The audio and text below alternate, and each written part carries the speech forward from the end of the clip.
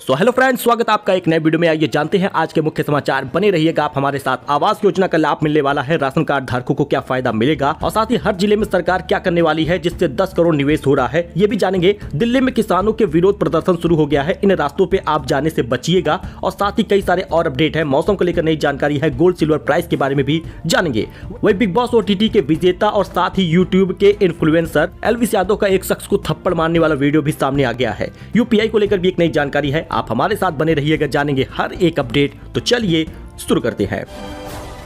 बात करें पहले खबर की तो एक करोड़ लाभार्थियों की पेंशन राशि बढ़ाने की तैयारी सरकार ने कर ली है। हर महीने पंद्रह सौ देगी सरकार। जी हाँ अगर आप भी दिव्यांग योजना के लाभार्थी हैं तो आपको हर महीने पंद्रह सौ मिलेगा और ये शुरुआत हो जाएगी और अप्रैल महीने से आपको कुल पैंतालीस सौ मिलेगा। जनवरी, फरवरी, मार्च की राशि जो है वो कुल पैंतालीस सौ मिलेगी। वृद्धा, विधवा, निराश्रित महिलाओं को एक एक हज़ार की राशि मिलेगी। जी दोस्तों, विधानसभा चुनाव में यूपी ने यह ऐलान किया था। उसके बाद बजट पे भी ऐलान हो गया है। अब इस पर मुहर लग गई है। बजट भी पेश कर दिया गया है। अब बजट की राशि दिव्यांगों के लिए, निराश्रित महिलाओं के लिए भी पेश की गई है। यही कारण है कि अब एक करोड़ लाभार्थियों को यह लाभ मिलेगा। भाजपा ने अपने संकल्प पत्र में सरकार बनने पर वृद्धावस्था, दिव्यांगजन और निराश्रित महिलाओं की पेंशन को बढ़ाकर पंद्रह सौ करने की बात कही थी, जो अब होने वाला है। यानी अब आपको अप्रैल तक ये पैसा मिलेगा, कुल पैंतालीस सौ मिलेगा, जनवरी, फरवरी, मार्च का दिया जाएगा। दोस्तों, आपको बता दें, जो रिपोर्ट में जानकारी आती है, बिल्कुल वही शेयर किया जाता है, इसमें कुछ भी बढ़ा चढ़ाकर नहीं बताया जाता। इस बात पर आप ध्यान दीजिएगा की ई के बेहद ज़रूरी है, उन्हीं लोगों को ही पैसा मिलेगा जिन्होंने ई के कराई है, जिनका ई सत्यापन हुआ है। वही किसानों को रोकने के लिए दिल्ली की किलेबंदी, पुलिस ने किए अभेद्य सुरक्षा इंतज़ाम, तैयारी जांचने सड़क पर उतरे हैं कमिश्नर। दोस्तों, किसानों के 13 फरवरी को दिल्ली कूच ऐलान को देखते हुए दिल्ली पुलिस ने राजधानी की सभी सीमाओं को किलेबंदी शुरू कर दी है। इस वजह से सोमवार और मंगलवार को लोगों को जाम का सामना करना पड़ेगा। जी हाँ दोस्तों, धारा एक सौ चौवालीस भी लागू कर दी गई है। सभी सीमाओं पर कंक्रीट और बैरिकेटिंग और कंटेनर लगाए गए हैं। पड़ोसी राज्यों में भी सख्ती से मार्च करने वाले दिल्ली आ रहे किसानों को रोकने के लिए पड़ोसी राज्यों से भी इंतज़ाम किए गए हैं। अम्बाला के पास पंजाब सीमा सील है, अवरोधक रेत की बोरिया, कटीले तार वगैरह लगाए गए हैं। तो मोदी सरकार पाँच सौ रुपए की छूट दे रही है सोना खरीदने पर। कहाँ और कैसे खरीदे, इसको जानिएगा जो दोस्तों 12 से 16 फरवरी तक गोल्ड बॉन्ड में निवेश कर सकते हैं आप। मोदी सरकार का यह सस्ता सोना आपको कहाँ, कैसे, कितना और किस रेट पर मिलेगा, यहाँ पर आप पूरी डिटेल जान लीजिए। दरअसल हम बात कर रहे हैं सॉवरेन गोल्ड बॉन्ड की। जी दोस्तों, सरकारी गोल्ड बॉन्ड एस सोमवार से पाँच दिनों के लिए शुरू हो गई है। आप बारह से सोलह फरवरी तक गोल्ड बॉन्ड में निवेश कर सकते हैं। आरबीआई ने इसका इश्यू प्राइस छह हज़ार दो सौ तिरसठ रूपए प्रति ग्राम तय किया है। तो आपको बता दें, ऑनलाइन और ऑफलाइन बिक्री होगी। गोल्ड बॉन्ड में ऑफलाइन और ऑनलाइन दोनों तरह से आप निवेश कर पाएँगे। अगर कोई व्यक्ति ऑफलाइन निवेश करना चाहता है तो उसे नामित बैंक शाखाओं में जाकर फॉर्म भरना होगा। इसके अलावा ऑनलाइन निवेश में इच्छुक लोगों को भारतीय रिज़र्व बैंक या फिर अन्य बैंकों की वेबसाइट पर जाकर गोल्ड बॉन्ड की खरीद के लिए आवेदन करना होगा। तो दोस्तों यूपी पुलिस कांस्टेबल भर्ती की एग्ज़ाम सिटी डिटेल आ चुकी है, जाकर आप देख भी सकते हैं। UPP BPP dot gov dot in पर जाकर आप देख पाएँगे। इसके साथ ही आई बटन पर क्लिक करके भी आप इसके बारे में जानकारी हासिल कर पाएँगे। यूपी पुलिस कांस्टेबल भर्ती के एग्ज़ाम सिटी डिटेल आ चुका है। आपका पेपर किस शहर में होगा, सत्रह तारीख को होगा या अठारह तारीख को होगा, किस शिफ्ट में होगा, ये सब कुछ आपको एग्ज़ाम सिटी वाली डिटेल में मिलेगी। इसके साथ ही आज एडमिट कार्ड भी जारी होगा। तो दोस्तों, YouTube पर मोस्ट पॉपुलर इन्फ्लुएंसर की लिस्ट सामने आ गई है। 10 पॉपुलर इन्फ्लुएंसर हैं। ध्रुव राठी से पीछे रह गए हैं एलविस यादव आइए पूरा अपडेट आपको बता देते हैं। अगर आप भी YouTube देखते हैं तो आपके कुछ फेवरेट यूट्यूबर होंगे। हालाँकि टॉप थ्री की लिस्ट में कैरी मिनाटी सबसे आगे है, सबसे ऊपर है। इनका नाम अजय नागर है। आप इनको जानते ही होंगे कैरी मिनाटी को एक यूट्यूबर और रैपर है। वो अपने चैनल पर रोस्ट करते हैं। फ़िलहाल इंस्टाग्राम पर उन्हें बीस मिलियन से ज़्यादा लोग फॉलो करते हैं। दूसरे नंबर पर भुवन बाम है। भुवन बाम इन दिनों वेब सीरीज़ में बिज़ी है और एक्टिंग में अपना दम दिखा रहे हैं। तीसरे नंबर पर दोस्तों अमेरिकन यूट्यूबर है, जिनकी पॉपुलरिटी भारत में भी बहुत ज़्यादा है। मिस्टर बीस्ट को इंस्टाग्राम पर उनचास मिलियन लोग फॉलो करते हैं।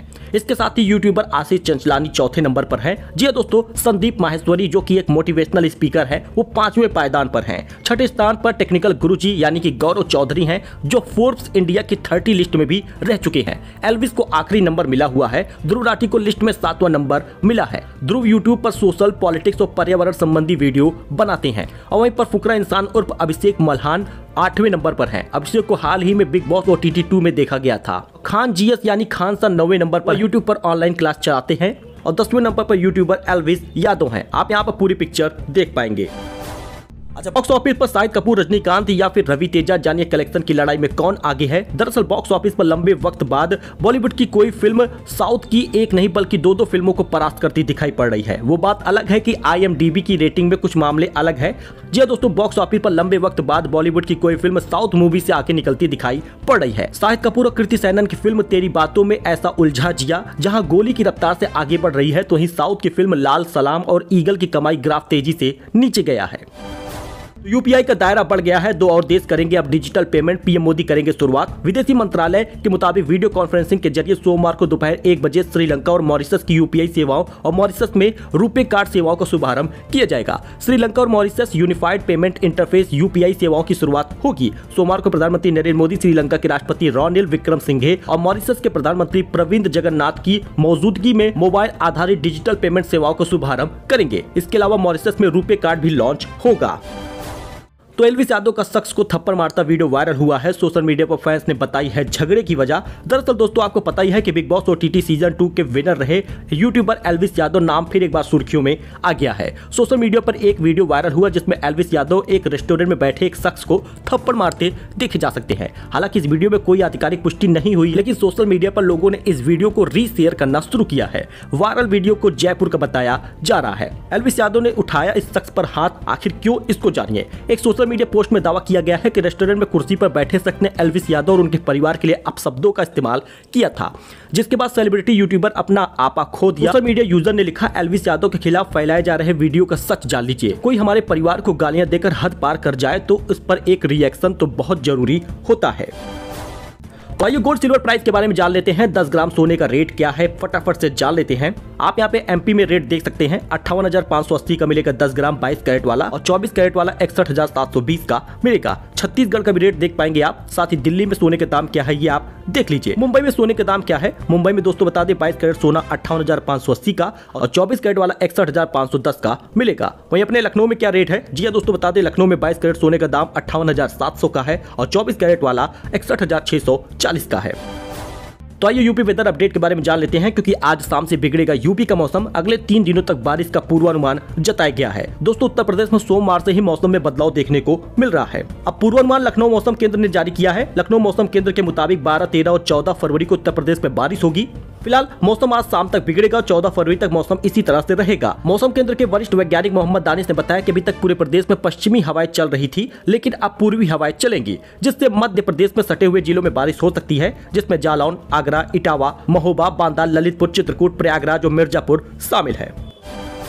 वही वोट शेयर बढ़ाने का अब गाँव चली भाजपा। जेपी नड्डा आज वेस्ट यूपी शुरू करेंगे अभियान। दोस्तों, लोकसभा चुनाव में यूपी की सभी 80 सीटें जीतने का लक्ष्य लेकर चल रही भाजपा कोशिश इस चुनाव में अपना वोट शेयर बढ़ाकर इक्यावन फ़ीसदी के करीब करने की है। इस लक्ष्य को पाने के लिए पार्टी गाँव गाँव जाएगी। वही दोस्तों, किसानों के प्रदर्शन से पहले दिल्ली के बॉर्डर सील कर दिया गया है। कॉमर्शियल वाहन पर भी रोक लगा दी गई है। घर से निकलने से पहले आप देख लीजिए एडवाइजरी दोस्तों, दिल्ली में तेरह फरवरी को किसानों के प्रस्तावित आंदोलन को देखते हुए दिल्ली के बॉर्डर को सील कर दिया गया है। दिल्ली पुलिस ने हरियाणा के सटी इलाकों में एहतियातन धारा एक सौ चौवालीस लागू कर दिया है। दिल्ली ट्रैफ़िक पुलिस ने किसानों को एकत्रित होने के मद्देनजर ट्रैफ़िक एडवाइजरी भी जारी कर दी है। आपको बता दें, बड़ी संख्या में उत्तर प्रदेश, हरियाणा, पंजाब के किसानों के दिल्ली पहुँचने का अनुमान है। कॉमर्शियल वाहनों पर कहाँ कहाँ रोक लगी है? सिंह बॉर्डर पर सोमवार से कॉमर्शियल व्हीकल पर आवाजाही पर प्रतिबंधित कर दिया गया है। मंगलवार को बॉर्डर को पूरी तरह से सील कर दिया गया है। गाजियाबाद से दिल्ली आने के लिए कौन कौन सा रास्ता ठीक रहेगा? गाजियाबाद से गाजीपुर बॉर्डर के रास्ते दिल्ली जाने वाले लोगों को महाराजपुर बॉर्डर या फिर अप्सरा बॉर्डर के रास्ते दिल्ली में प्रवेश करना होगा। इसके बाद भी Akshardham, Geeta colony, Pusta road, Mother Dairy road और चौधरी चरण सिंह मार्ग होते हुए आगे की तरफ़ जा सकते हैं। वही हर ज़िले में होगा भूमि पूजन समारोह। 10 करोड़ निवेश वाले उद्यमी होंगे मेहमान। दोस्तों, उत्तर प्रदेश के प्रत्येक ज़िले में 19 फरवरी को भूमि पूजन का समारोह आयोजन किया जाएगा। इसमें 10 करोड़ रूपए तक निवेश करने के लिए उद्यमियों को आमंत्रित किया गया है। इस संबंध में अवस्थापना और औद्योगिक विकास आयुक्त मनोज कुमार सिंह ने सभी मंडलायुक्तों और जिलाधिकारी को निर्देश जारी किया है। वही दोस्तों, माघ मेला में हुआ है पहला संत सम्मेलन। बोले, हिंदुओं को सौंपे ज्ञानवापी मंदिर और श्री कृष्ण जन्मभूमि। अखिल भारतीय संत समिति के महामंत्री जितेंद्रानंद सरस्वती ने कहा कि हमारा अयोध्या मथुरा व काशी को लेकर एक ही संकल्प था। संतों ने हमेशा तीनों आराधन स्थल मांगा था। श्री राम जन्मभूमि के बाद अब काशी और मथुरा चाहिए। तो आवास योजना को लेकर बड़ा अपडेट आ गया है। गरीबों को आसियाना देने के लिए यूपी के ज़िले में सबसे आगे है। इनका सबसे खराब रिकॉर्ड है। पीएम आवास योजना में गरीबों को आसियाना देने में उत्तर प्रदेश काफ़ी तेज़ी से काम कर रहा है। नोएडा और गाजियाबाद में तो अपना सौ फ़ीसदी टारगेट भी पूरा कर लिया गया है, जबकि मथुरा बंदायु का रिकॉर्ड सबसे खराब है।